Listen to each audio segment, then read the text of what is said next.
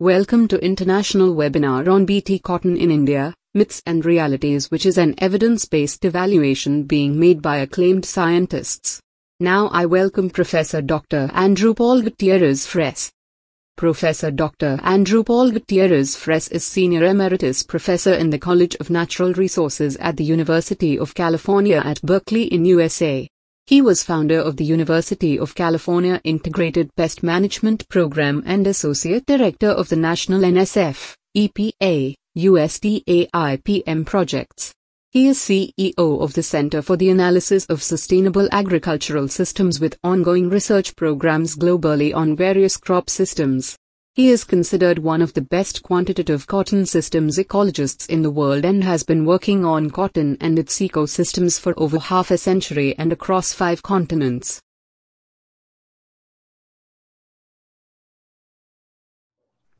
Thank you very much for the opportunity to make this presentation. I became interested in uh, cotton in India when I started reading about all of the suicides and I helped uh, an, uh, an, Israeli filmmaker develop uh, the film called Bitter Seed. I've worked since about 1972, and it's been worldwide South America, Central America, North America, Africa, and uh, Australia, and now India. Uh, next slide.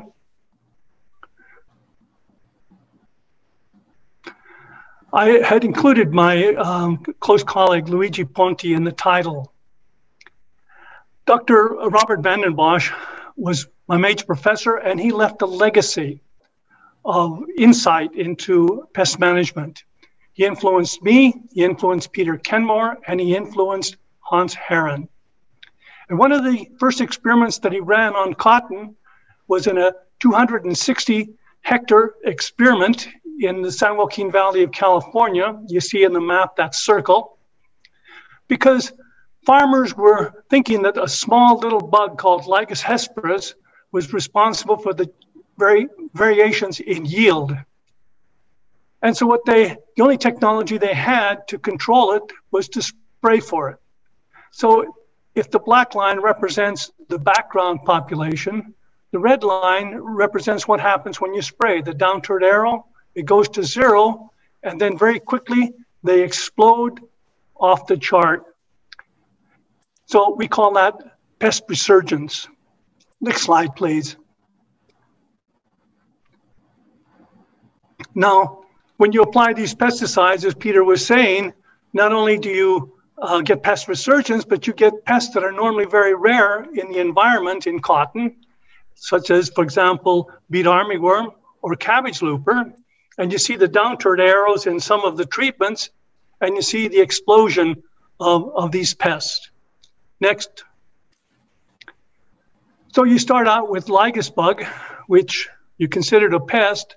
You put on insecticides, and all of a sudden you come up with a problem with bollworm, which is much greater than lygus bug ever could be. And in fact, it turns out that lygus bug is not a pest at all.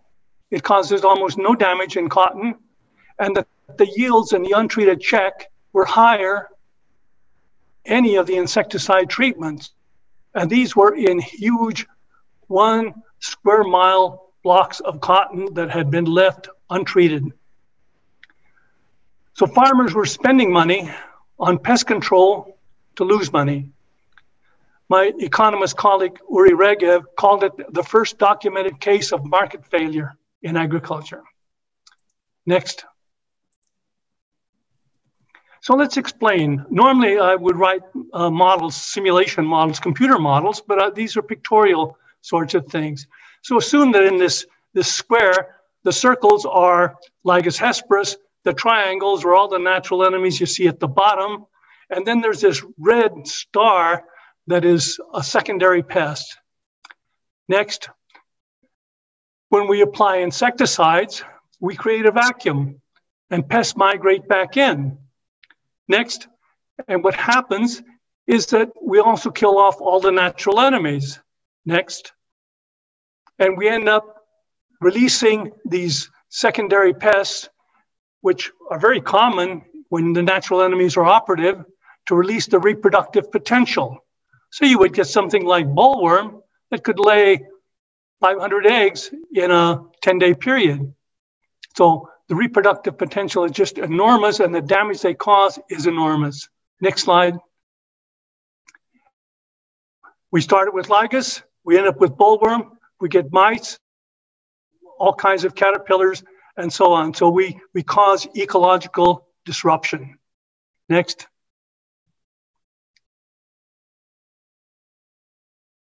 Next, there we go. Uh, Indian cotton has its panoply of, of uh, pests or, or insects that are feeding on cotton. Most of them are secondary pests. They're kept under control by the suite of natural enemies, which we'll show in the next, sli- in the next slide. Next. But the real key pest is pink bollworm. When you plant long season cotton, you must protect that cotton against pink bollworm. If you do not, it will destroy your crop. And in pre-BT uh, cotton era, they would use insecticides and they would end up with outbreaks of what they call American bollworm. Um, so both of them are very damaging, but bollworm is even more damaging, I think, than pink bollworm. Pink bollworm is relatively easy to control. Next. So let's look at uh, irrigated long season cotton before uh, BT cotton. It's planted sometime in the spring, it germinates, it starts producing the first crop, and then a second cycle. And depending upon the irrigation and rains, you can even produce a third cycle. Next.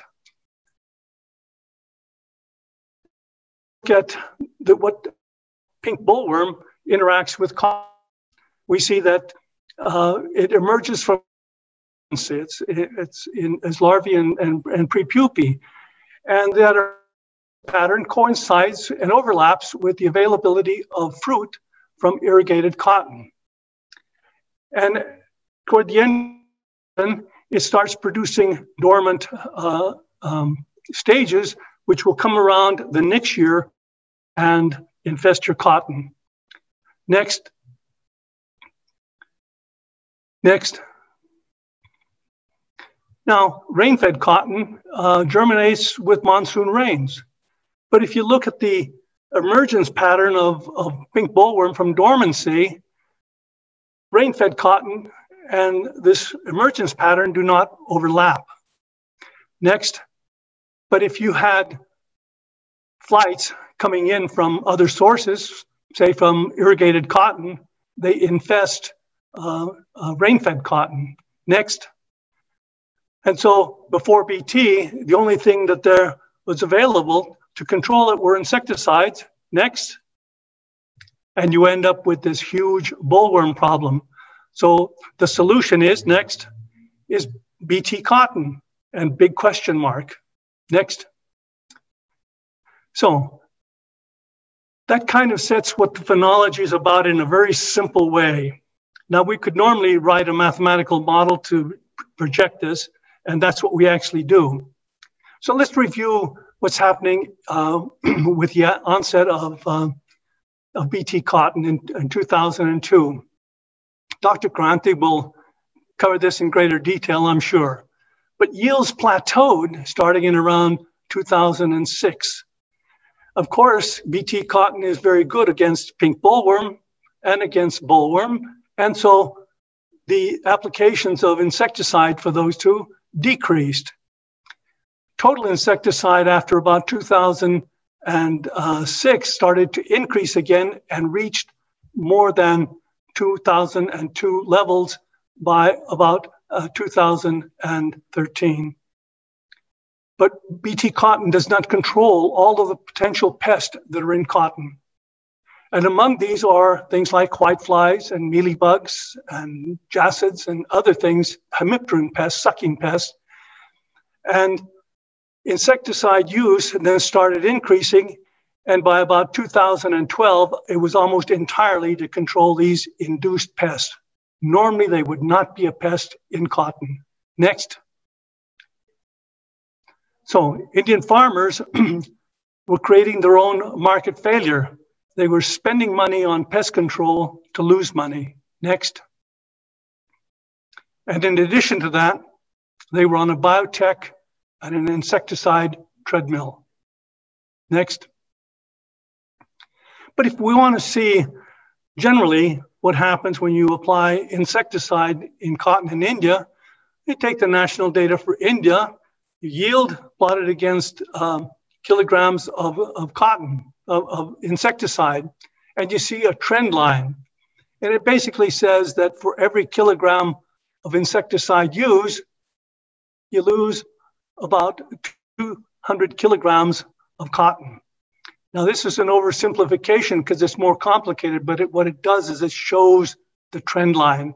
And if you were to go to any of the state data, you would find similar kinds of relationships. Some would be tighter and some would not be uh, so tight. Next, please. If you like uh, Maharashtra, and I, I, apologize for my pronunciation of Indian names, yields are fairly low. It's 350 kilograms. And even national yields at 550 on average, comparison to all kinds of other countries that are supposedly developing economies. And in the background, you see that BT cotton uh, is increasing in adoption, but again, yield stagnation. Okay, next. So what I would normally do is I would develop a systems model, and that's what we've done for India. We, do, we can basically uh, develop a virtual crop in the computer. We run it with weather, and we can parameterize it with the varieties of any particular area. And we can generate the dynamics of the individual plant, of the population of plants and, and its interaction with, say, pink bollworm or 10 other species that we have in, in the model. We can estimate what the field yields are going to be, and we can do it for any region. Next. Now, the kind of output for any location uh, would be indicated by this kind of graph. The lines are the model predictions, and the data uh, are the dots. And it basically partitions how energy is being allocated by the crop to all of these uh, uh, different organs. And when you link them with the pest, you see how the pest is taking energy from the crop and diverting it to its own use and how it starts affecting yield. Next. So let's say we divide the five states of uh, central, south central India into 2,800 or more grid points, about 38 kilometers square. And we take the daily weather data from 1980 to 2010, and we run the model for all of this period. And we take annual estimates of, of, of lint yield and take the average, standard deviations, and, and so on, different statistics. And we can see from the color bar the distribution of predicted yields. As you start getting toward the upper end, you probably areas would be used for other crops, but we did not clip the uh, projections for that. Next. And what this does, visually, you can start seeing that at 350, uh, what the distribution of, of yields might be. And if you take a conservative price for lint cotton of, of say $1.90 per kilogram, the, the income would be about 665 and if you were only growing organic cotton and you put fertilizer and labor into it, the cost would be about 1%. Next. But if you had pests and you had to buy BT seed and insecticide, the cost might be 28% or even more uh, of your total revenue. So pictorially, it enables us to capture uh, kind of what's going on in the different regions remember, it's all driven by weather, and the model is predicting things uh, of the dynamics of, of crop development. Next. Now, lint yield is related to rainfall. That's, that's the dominant uh, driver. Uh, weather, fertilizer, and other things are also uh, important and can move this also around. But with rainfall, you tend to have um, uh, uh, diminishing returns. Now, if we plot on the bottom graph millimeters rainfall toward the coefficient of variation, we find that the lower the, ra- the rainfall, total rainfall, the higher the variability. And since rainfall is related to, to yield, the lower you are on the rainfall scale, the higher your variability of yield is going to be. So that means that you start getting toward 350 uh, uh, kilograms of, of cotton or and, and below, uh, your yield variability is going to be really quite high. Next. And during this time period, for insecticide, fertilizer, seed, labor increased more than threefold. So you had stagnant yields. Prices are not varying all that much, with the exception of uh, 2011 when there was a big spike. And so the farmer is trapped between increasing costs and stagnant yield and income. It relates to um, economic distress. Next. So if we look at uh, correcting the statewide data and, and estimating in US dollars uh, the income per day on yield, we find a straight line. It requires about 110 kilograms of cotton simply to break even. Next. If we take the side data from the Crime Bureau in India and we correct it for the proportion of these farmers in each of the states that uh, cotton, these suicide uh, data are, are, are, are per state. And we correct it to a standard of, say, a million hectares. It could be 100,000, doesn't really matter. And we plot those against average yield. We find that the higher the yield, the lower the suicide rate, and vice versa. If we plot it on net revenue, we get the same kind of trend. And the only outliers appear to be some points from Gujarat. But if we were, were to remove those points, it really wouldn't change the relationship at all. Next. So, in the beginning, we talked about a disaster in cotton in California. It should have been an embarrassment to everybody, but they had they didn't know any better. But in a 19 mid 1970s, the Indian pink bollworm invaded the San the Imperial Valley of, uh, of California at the at the bottom of the state, and it was causing incredible damage and reducing yields. So they started spraying with insecticides, and they brought the yields up but at a certain point, they started spraying almost on a basis. So they had a problem with pink bollworm, and then they ended up with a problem with bollworm, whiteflies, budworms, defoliators, plant bugs, you name it. Next slide. So somebody came up with a good idea about short season cotton. I don't know that history. Next slide. Now, the way short season cotton worked in California was that it was designed to be planted normally at the normal time, but to be harvested before pink bollworm could produce the overwintering forms that would come back and infest the crop the following year.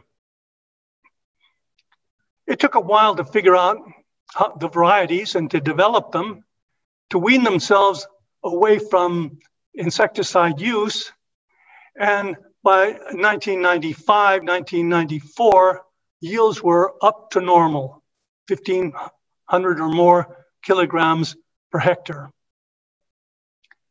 But then BT cotton came in, next slide, and replaced this short season non uh, cotton. Now, it replaced it because it was an easier technology to implement. They didn't have to plow the field immediately after harvest. They could leave the, the, the stalks in the field for as long as they wanted and they'd do it at their convenience, uh, more viable. So non-hybrid BT cotton replaced the short season technology, even though that BT cotton was also high density cotton. Next. Next. No, what's this? No, go back one, please. Back. Back. There we go. Now, in India, the uh, researchers at uh, the Cotton Research Station at Nagpur uh, have been working on non-hybrid, non-high density short season cottons in India. And Dr. Karanthi knows this extremely well because he was there. He was supervising probably a lot of it. And what, when you compare it to the yields for uh, the state, you see that the yields from hybrid, uh, from uh, non-hybrid uh, varieties of, of, American varieties, uh, cotton are, are more than double what they would be uh, for the state. And they could either be American varieties or they could be Desi cottons. The same trend occurs. And what is obvious is that this is probably just the beginning. Better varieties could be developed, higher yielding, different quality, and so on. They're at the beginning. The question that puzzled me is why this work wasn't really encouraged, stimulated, and why some of these things weren't put out and implemented. Next slide. So how would it work in India? Well, recall that pink bollworm emerges in the spring and it overlapped with irrigated cotton, but not with short season and definitely not with high density short season cotton. So it wouldn't get infestations from, from uh, these overwintering uh, emerging. Now, the short season cotton would uh, shorten the season and it would also to reduce the, the number of, of, of overwintering um, stages that would be formed. And by packing the crops together, the, the plants together of the right variety, the question is not to produce large plants. The, the object is to produce the, the highest yield possible per unit area. And that's what short season cotton uh, would do, short season high density cotton.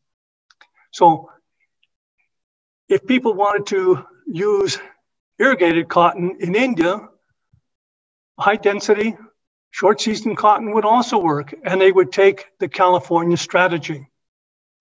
They would terminate the crop before the overwintering forms could be produced. Next. So there's little overlap between emergence from overwintering and the crop, and that's the solution. Simple. Next. And you don't get infestations. Next. So BT cotton is not needed, but there is that inherent contradiction and conflict between irrigated and cotton that has to be resolved. Next.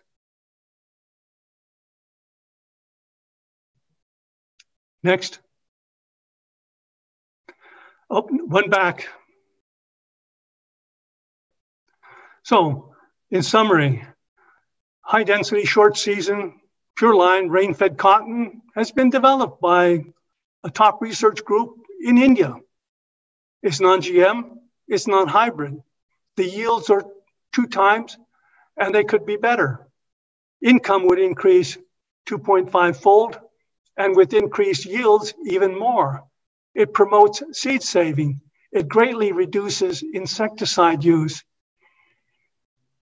It reduces and disrupts the current value capture mechanism of hybrid cotton.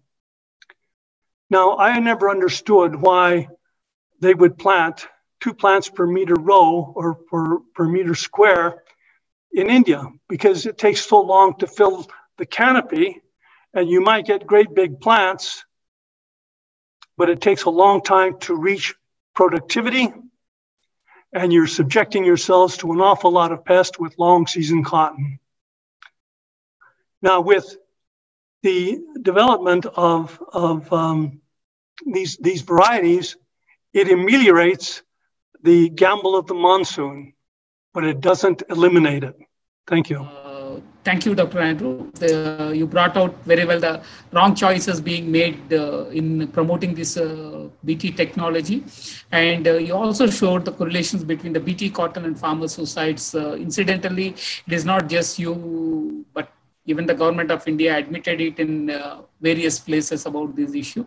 And uh, one of the key takeaway from the presentation is also about reducing the duration, making a choice for uh, uh, short duration varieties rather than filling up the entire 220, 240 days in the feed with cotton and changes in the agronomy. I think this is a very important takeaway from this presentation.